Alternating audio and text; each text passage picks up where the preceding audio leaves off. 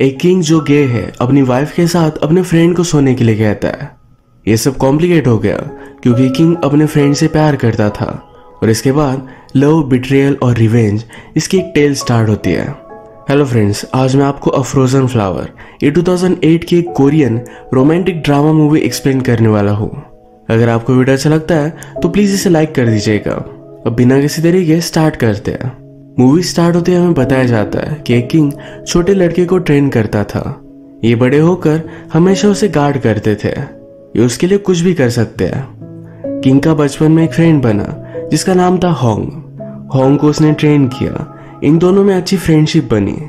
एक साथ म्यूज़िक बजाते थे। सब कुछ चीज़ें एक साथ करते थे। अब इसके बाद ये दोनों बड़े हो चुके हैं। इनके पैलेस का एक आदमी एक सर्वेंट से बहुत प्यार करता था और उसे लेकर यहाँ से दूर भाग रहा था। होंग उसका पीछा करता है, फिर से पैलेस में लेकर आया। किंग से धोखा करने की सजा डायरेक्टली मौत है। जो भाग गया था, ये होंग का फ्रेंड है। होंग ने किंग से कहा कि प्लीज़ उसे इस तरीके से कोई भी पनिशमेंट मत देना। किंग ये था और वो होंग से प्यार करता है। इसी वजह से उसका सब कुछ कहना मान लेता है। पैलेस में आकर होंग ने डिक्लेयर किया कि हमारे फ्रेंड को कोई भी मारेगा नहीं। यहाँ पर उसका दूसरा फ्रेंड जिसका नाम है नोताग इसे इससे प्रॉब्लम होती है। वो कहता है, सजा सजा होती है। किंग के कानों में खुसफुस कर कर उसके डिसीज़न बदलना बंद कर दो। उस पर बहुत ही गुस्सा था। किंग और हॉन्ग जब अकेले थे तो किंग हॉन्ग से पूछता है, तुम भी तो बहुत सालों से मेरे साथ हो। क्या अगर तुम्हें अपॉर्चुनिटी मिलती, तुम भी किसी के साथ भाग जाते? होंग कहता है, ऐसा कभी भी नहीं होगा. इसके बाद किंग से मिलने के लिए क्वीन आई। वो कहती है एम्पर यहाँ पर आने वाला है। यानी कि किंग के ऊपर किसी और का राज है। एम्पर आने पर क्वेश्चन करेगा कि किंग को अब तक कोई भी सन नहीं। अगर ऐसा हुआ तो किंग को बदल दिया जाएगा। इस प्रॉब्लम को सॉल्व करने के लिए किंग के पास अब तक कोई भी ऑप्शन नहीं है। क्वीन जब बाहर आई तो हंग से बात करती है। कहती है, ज़्यादा किंग के करीब मत करो। तुम पर भी लोग शक ले सकते हैं। क्वीन को किंग और हॉन्ग के बारे में सब कुछ पता था। अगले दिन किंग और क्वीन ये बाहर घूमने के लिए आए हुए थे। वो जब क्वीन से फ़र्स्ट टाइम मिला था तो उसने क्वीन को बहुत ही ब्यूटीफुल सा नेकलेस दिया था। वो आज भी पहन रही है। किंग को बहुत अच्छा लगता है। वो कहता है, तुमने मेरे लिए गाना गाया था। आज भी गाना गाओ। क्वीन भी ब्यूटीफुल सा सिंग करती है। तभी इन पर हमला हो गया। इस हमले में हॉन्ग किंग को प्रोटेक्ट करता है। पर किंग इंजोर हो गया। इनका सेनापति होंग पर बहुत ही ज़्यादा गुस्सा हो गया। कहता है, तुम्हारा जॉब है किंग को प्रोटेक्ट करना। किंग जख्मी हालत में था, पर फिर भी कहता है कि होंग नहीं होता तो मेरी डेथ हो जाती है। होंग को बहुत बुरा लगा। होंग ने इस इंसिडेंट को इन्वेस्टिगेट किया। उसे पता चला कि उसके पैलेस के कुछ लोग इसके पीछे थे, और वो बहुत ही ज़्यादा पावरफुल है, क्योंकि वो डायरेक्टली एम्पर के लिए काम करते हैं। इन सब का मिलकर किंग बदलने का प्लान है। जब तक होंग हंड्रेड परसेंट श्योर नहीं, तब तक कुछ भी कर नहीं सकता। इसके बाद एम्पर आया। किंग को कोई भी बेटा नहीं तो किसी और को किंग करने वाले थे। पर क्वीन कहती है, अब तक किंग यंग है। इन्हें कभी भी बेटा हो सकता है। रात में इसी इशू को लेकर क्वीन किंग के पास आई थी। वो कहती है, हम प्रिटेंड करेंगे कि एक साथ सोए थे। किंग कहता है, हमारे पास और एक ऑप्शन है। वो होंग पर ट्रस्ट करता है और होंग क्वीन के साथ इंटीमेट हो सकता है। अगली रात सब अरेंजमेंट किया गया। होंग ने क्वीन के साथ इंटीमेट होने की कोशिश की, पर वे बात कर नहीं पाया। अगले दिन ये बात किंग को बता देता है। किंग कहता है, तुम्हारे पास और दो चांस है। अब सही से करना। होंग ने पूछा कि आपने मुझे क्यों चूज़ किया? किंग कहता है, तुमसे अच्छा और कोई हो नहीं सकता। रात में जाकर फिर वो क्वीन के साथ इंटीमेट हो जाता है। किंग इन्हें इंटीमेट होता देख रहा था। अगले दिन किंग ने होंग से पूछा, किसी लड़की के साथ होना कैसा था? होंग कहता है, मैं सिर्फ़ अपनी ड्यूटी कंप्लीट कर रहा था। ये सब वियर्ड है। तो उसने कहा, कि आप पर जो हमला हुआ था, उसे इन्वेस्टिगेशन करने के लिए मैं कहीं दूर जा रहा हूँ। होंग ने अपने आप को डिस्ट्रैक्ट करने की कोशिश तो की, पर उसे क्वीन की याद आ रही थी वो रात में सो भी नहीं पाता। बहुत दिन हो चुके, पर फिर भी वो वापस नहीं आया। किंग उसके लिए वरीड था तो अपने कुछ आदमियों को भेज देता है। जो भी अटैक हुआ, उसमें क्वीन का नेकलेस टूट गया था। उसी तरीके का नेकलेस हॉन्ग ने इस टाउन में देखा तो क्वीन के लिए बाय कर लेता है। किंग के आदमी उसे फिर से घर ले जाने के लिए आए पर फिर भी वो रेडी नहीं था। रात में उसे पता चला कि क्वीन की तबीयत जरा खराब है। वो फिर तुरंत पैलेस आ जाता है। किंग क्वीन को देखने के लिए गया था। वो कहता है, क्या तुम प्रेग्नेंट हो? क्वीन कहती कि ऐसा कुछ भी नहीं। वो सिर्फ़ जरा बीमार थी। किंग जब भी बीमार पड़ता था तो हॉन्ग उसे स्पेशल ड्रिंक देता है। किंग ने अपने लोगों से कहा कि वही ड्रिंक क्वीन को दीजिए। वो कहते हैं हॉन्ग ने सुबह क्वीन को दिया था। किंग सरप्राइज़ हो गया कि हॉन्ग उसके पीछे क्वीन से मिल रहा है। रात में हॉन्ग से बात करता है, कहता है, तुम्हारा ड्रिंक लेकर क्वीन के पास जाओ। हॉन्ग ने उसे सच बताया नहीं। वो कहता है कि रॉयल सर्वेंट सब कुछ सही से कर लेंगे। अगले दिन किंग ने क्वीन और हॉन्ग को बुलाया। कहता है, क्वीन की तबीयत लास्ट टाइम बहुत ही बिगड़ गई थी। अब थोड़े टाइम तक इन दोनों को गैप देना है। यहाँ पर हम देख सकते हैं कि क्वीन और हॉन्ग में अट्रैक्शन हो चुका था। वो उसे मिलने के लिए गया। उसने जो नेकलेस लाया है, उसे दे देता है। रात में किंग को बेटा हो, इसके लिए पैलेस में एक बड़ा सा फीस्ट था। क्वीन की दासी आकर हॉन्ग से बात करती है। लाइब्रेरी में होंग को क्वीन से मिलना है। ये दोनों मिले और वही इंटीमेट हो गए। क्वीन ने होंग को एक हैंकर चिप दिया। कहा, इसे हमेशा अपने पास रखना। अगले दिन फिर से उसे यही मिलने वाली है। किंग को पता चला कि उस पर जिसने हमला किया था, उसका मिनिस्टर है। तो आज रात उस पर नज़र रखने के लिए हॉन्ग को भेज दिया जाता है। हॉन्ग को एक्चुअल में क्वीन से मिलना था, पर वो आज रात मिल नहीं पाया। अगले दिन क्वीन का ब्रदर यहाँ आया है। वो कुछ दिनों के लिए क्वीन को अपने घर लेकर जाना चाहता था। किंग भी कहता है इसका अच्छे से ख्याल रखना। किंग के पास एक बहुत ही अच्छा सा हॉर्स आया। ये हॉर्स वो हॉन्ग को गिफ्ट देने वाला था। वो हॉन्ग का गार्डन में आने के लिए वेट करता है, पर हॉन्ग अब क्वीन के पास था। वो उसके साथ इंटीमेट हो रहा था।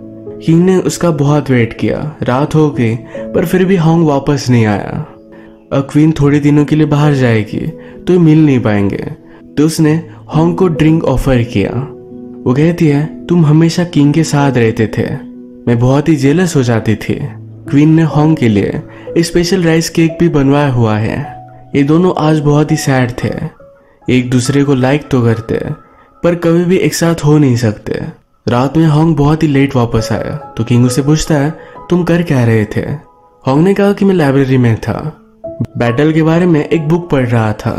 किंग ने इस बुक के बारे में सब कुछ डिटेल पूछे, पर हॉन्ग रेडी था। उसने सब कुछ सही सही बता दिया। किंग कहता है, अगर तुम्हें बैटल के बारे में इतना सब कुछ पता है तो मुझसे लड़ो। मुझे किंग की तरह मत समझना, सही से लड़ना। फिर ये दोनों स्वॉर्ड फाइट करते हैं। इसमें हॉन्ग किंग पर वार कर नहीं पाया। किंग कहता है, तलवार चलाने में सोल लगती है, कोई टेक्निक नहीं है। उसे समझ गया था कि उस पर चीट कर रहा है। उसे लॉयल्टी दिखाने के लिए कहता है। नेक्स्ट में हम देखते हैं पैलेस के कुछ लोग, जो किंग के खिलाफ है, इनकी मीटिंग चल रही थी। इन्होंने डिसाइड किया कि किंग को ओवरथ्रोन करने के बाद, वो क्वीन के ब्रदर को किंग बनाएँगे। इस मीटिंग में क्वीन का ब्रदर भी था। किंग को ऑलरेडी सब लोगों के बारे में पता है, पर क्वीन के ब्रदर के बारे में पता नहीं था। वो हॉन्ग को भेजता है और मिनिस्टर लोगों पर ही हमला करते हैं। इनसे सब कुछ पूछा गया तो इन्हें क्वीन के ब्रदर के बारे में पता चला। किंग इस बात से बहुत ही गुस्सा हो जाता है। कहता है पैलेस में एक फ़ीस दो। जो भी ट्रेटर है, इन सबको बुलाएँगे और वहाँ मार डालेंगे। सिर्फ़ क्वीन का ब्रदर यहाँ नहीं होगा। उसे जाकर उसके घर में मारेंगे। ब्रदर को मारने का ऑर्डर ये हॉन्ग को दिया गया। हॉन्ग बेचारा बहुत ही टेंशन में था कि क्वीन के ब्रदर को कैसे मार सकता है। पैलेस में फीस्ट हुआ और किंग ने सब लोगों को मार डाला। हॉन्ग क्वीन के ब्रदर के पास तो गया, पर उसने उसे छोड़ दिया। कहा कि हमेशा के लिए यहाँ से दूर चले जाओ।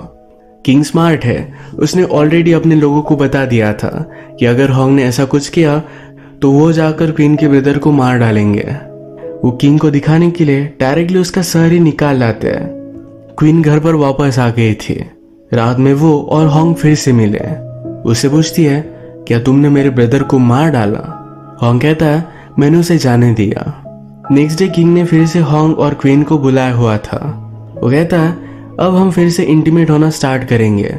पर इस बार हॉन्ग क्वीन के साथ इंटीमेट नहीं होगा। किसी और को भेजेगा।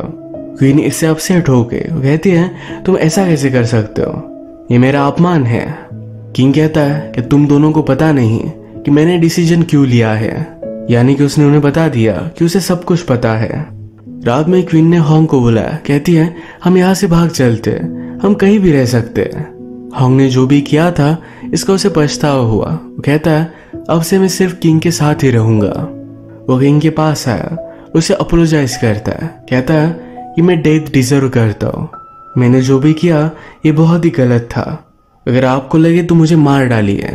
किंग कुछ भी नहीं बोलता और वहाँ से चला जाता है। हॉन्ग अपने घुटनों पर ही उसी गार्डन में बैठा रहा। इसे ही एक दो दिन गुजर गए। किंग फिर हॉन्ग को बुलाकर कहता है जाओ और बॉर्डर पर सर्व करो। जब तुम वापस आओगे, तब हम देखेंगे। हॉन्ग के रिजेक्शन के बाद क्वीन बहुत ही ज़्यादा अपसेट थी। उसने व्रिस्ट काट कर सुसाइड करने की कोशिश की।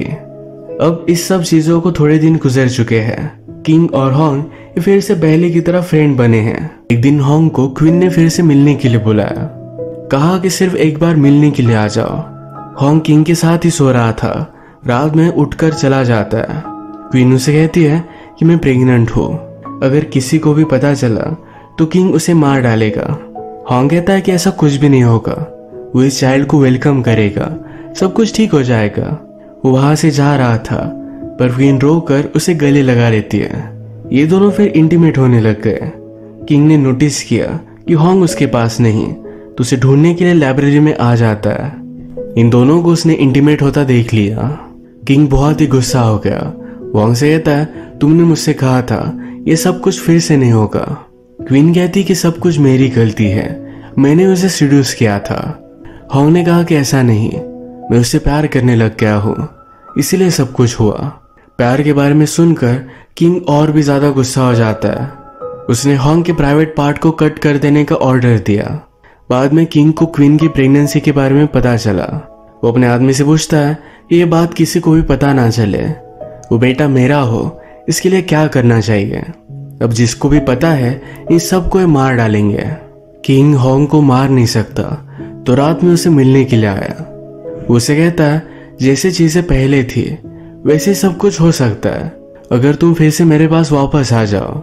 पर होंग ने इसके बारे में कुछ भी नहीं कहा। क्वीन को जब पता चला कि किंग उसके चाइल्ड को एक्सेप्ट करेगा तो उसे पता है कि सब लोग मारे जाएँगे। वो अपने सिपाहियों को ऑर्डर देती है कि जाओ और हॉन्ग को बचाकर यहाँ से दूर लेकर जाओ। वो लोग होंग को बचाने के लिए गए। होंग कहता है क्वीन कहा है? उन लोगों ने कहा क्वीन भी आगे चली गई है। हॉन्ग फिर इसके लिए मान जाता है। घर से बहुत दूर जाने के बाद उसे पता चला क्वीन ने सिर्फ़ उसे सेव करने के लिए झूठ कहा था। किंग को पता चला कि क्वीन ने सब कुछ किया है तो उसे बुला लेता है। उसने कहा कि अगर तुमने मुझे बताया नहीं कि हॉन्ग कहा है तो बहुत बुरा होगा। क्वीन कहती कि मुझे मार डालो, पर फिर भी मैं तुम्हें नहीं बताऊँगी। किंग कहता है कि इतनी आसानी से नहीं, मैं बदला लूँगा। तुम्हारे बेटे को एक ट्रेटर के बेटे की तरह बड़ा करूँगा। तुम हमेशा तड़पती रहोगी। क्वीन फिर भी कुछ भी नहीं बताती। हॉन्ग से रहा नहीं जाता। वो क्वीन को लेने के लिए पैलेस में आ रहा था। क्वीन के लोग कहते हैं, तुम उसे अब सेटिस्फाई कर नहीं सकते। जाकर क्या फ़ायदा? फिर भी हॉन्ग वहाँ से निकल गया। किंग के आदमियों ने इनकी जगह को ढूंढ लिया था। इस सब लोगों को मार डालते। हॉन्ग आगे चला गया तो बच जाता है। बाद में हॉन्ग ने रियलाइज़ किया कि अगर वो फिर से पैलेस में गया तो सब कुछ चीज़ें सिर्फ़ कॉम्प्लिकेट करेगा। वो वापस आया, पर देखा किंग के आदमियों ने क्वीन के सब लोगों को मार डाला था। अब उसे लगा क्वीन को बचाना पड़ेगा। वो वहाँ सेफ़ नहीं है। उसे बचाने के लिए जल्दी से निकल पड़ता है। क्वीन के साथ मिलकर हॉन्ग को बचाने के लिए पैलेस के जिन भी लोगों ने हेल्प की थी, किंग ने उन सब लोगों को मार डाला। उनके सर ये पैलेस के सामने लटका दिए। हॉन्ग का फ्रेंड भी इसमें था। ये सब देखकर हॉन्ग बहुत रोता है। रात में हॉन्ग पैलेस में घुस गया। उसे जिसने भी रेजिस्ट किया, उन सबको मार डालता है। फाइनली किंग के पास आ गया। उसने कहा, तुम्हारी स्वाड उठाओ। मैं तुम्हें फाइटिंग का चांस देना चाहता हूँ। ये दोनों फिर बहुत फाइट करते हैं। किंग कहता है, क्या तुम्हें सचमुच में लगता है? तुम मुझे हरा सकते हो। हॉन्ग ने कहा कि मेरे पास खोने के लिए कुछ भी नहीं है। किंग पूछता है, क्या प्यार इतना ज़्यादा इंपॉर्टेंट था? हॉन्ग ने कहा, तुम्हारी वजह से मुझे प्यार हुआ। मैं बहुत ही ग्रेटफुल हूँ। ये दोनों बहुत लड़े। किंग ने हॉन्ग को इंजोर कर दिया था। किंग उसे फिर से एक चांस देता है। कहता है अपनी तलवार नीचे फेंक दो। मैं तुम्हें जीने दूँगा। हॉन्ग इसके लिए नहीं मानता। इस फाइट में ये दोनों एक दूसरे को मार डालते हैं। मरते मरते किंग ने पूछा, क्या कभी तुमने मुझसे प्यार किया था? हॉन्ग कहता है कि कभी नहीं। हॉन्ग अभी भी थोड़ा सा ज़िंदा है। किंग के आदमी उसे मार डालते हैं। इसी तरीके से मूवी एंड हो जाती है।